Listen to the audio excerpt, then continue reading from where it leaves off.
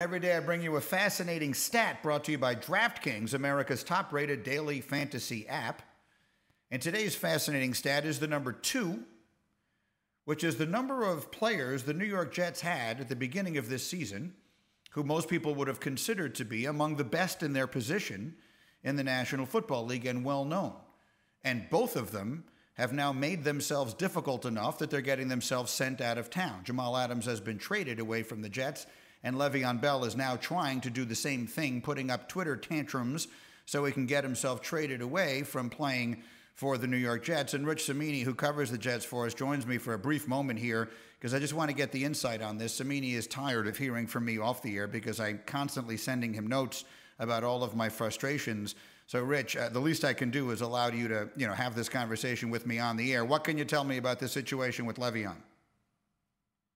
Well, yeah, uh, Greeny, it kind of deteriorated the last couple of days. You know, uh, Le'Veon was obviously unhappy the way he was used in Sunday's game against Arizona, and uh, didn't talk to the media after the game or yesterday, which is a violation of the league media policy. But he has used Twitter as as he's done in the past, and as Jamal did, as you noted.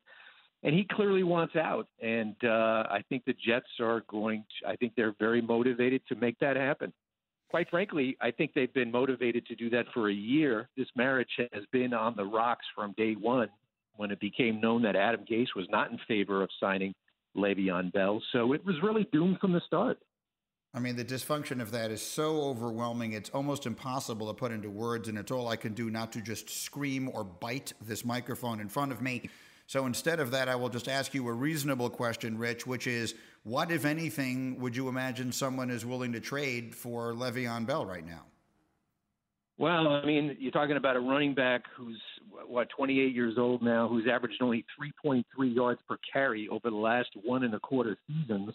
So there's not a great demand for a player like that. Plus, he's got six million dollars guaranteed remaining on this year's contract.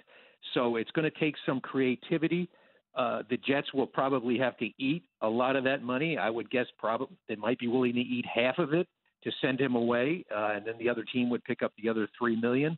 Even that's a lot of money for a team to pick up for a running back of that ilk. So eh, maybe they have to include some draft choices in it to try to sweeten the deal. But I think the best the Jets could get is probably a late round pick, which is kind of unbelievable when you think about it. But I think they'd be willing to pay money to send him away and only get a late round pick in return, which really is quite telling. It is. Again, it is telling enough that when the show ends in four minutes, I'm going to smash my head into a wall. But rather than do that now, I will ask you another reasonable question, which is for all the fans out there who might be wondering if they want Le'Veon Bell on their team, is there any way to tell you're closer to much closer to the situation than I am, what he still has left, which is to say he's gotten to show almost none of it but in my view, he's been very uncreatively used, and they have a terrible offensive line.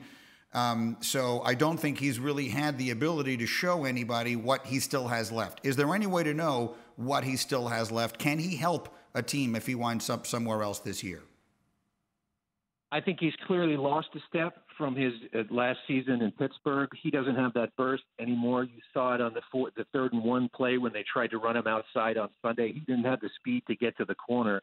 So he is not the same Le'Veon Bell. I agree with you. They could have utilized him more in the passing game because he has a unique skill set. When he's split out, he's almost like a wide receiver.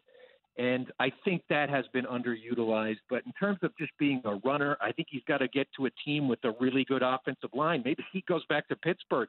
He didn't know how good he had it there. You know, he wanted to get out and chasing the money, and he really left a really comfortable situation there in Pittsburgh. He needs a good offensive line because he does not make players miss anymore.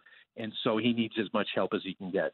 All right, we'll see where he winds up. Rich, tell the truth. When you see the t- when, when your when your phone vibrates and you see the text is for me, do you or do you not roll your eyes?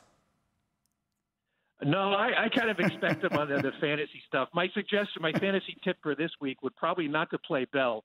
I think I think uh, La'Mical Perine is going to have a much bigger role going forward. Uh, well, so we all have that to look forward to. Thank you very much, Rich Cimini. I appreciate it. We will check in again. That's my friend Rich Cimini, who covers the Jets extremely well. Has covered them for a very long time.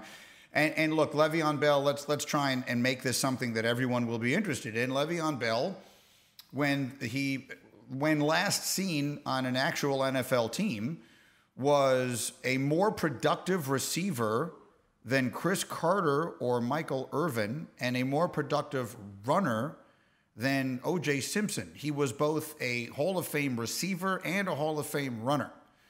The question is, what, if any of that, does he have left? And the answer is obviously, I don't know. I agree with Rich's assessment that when you watch him, he just doesn't look right. He doesn't look like the unstoppable player that we've seen him be in the past. But who knows if he, um, how much of that is the way he's being utilized, how much of it is a terrible offensive line, how much of it is an offensive philosophy that I don't I mean I don't even know what it is. To call it a philosophy would be an insult to offensive philosophy everywhere. Um, I don't know, but I guess what I'm saying is if you hear that your team is considering trading for Le'Veon Bell, my honest opinion is if all you get have to give up is like a fifth or sixth round pick for him, I would do it. If I'm a good team this year and you get a motivated Le'Veon Bell to come in there, I think he helps you make a difference. He may not be the superstar that he once was, but I think he makes a difference for your team. I think you should be happy if you hear your team has traded for Le'Veon Bell. We'll see if that happens. Trade deadline's a few weeks away. Thank you for watching ESPN on YouTube. For live streaming sports and premium content, subscribe to ESPN Plus.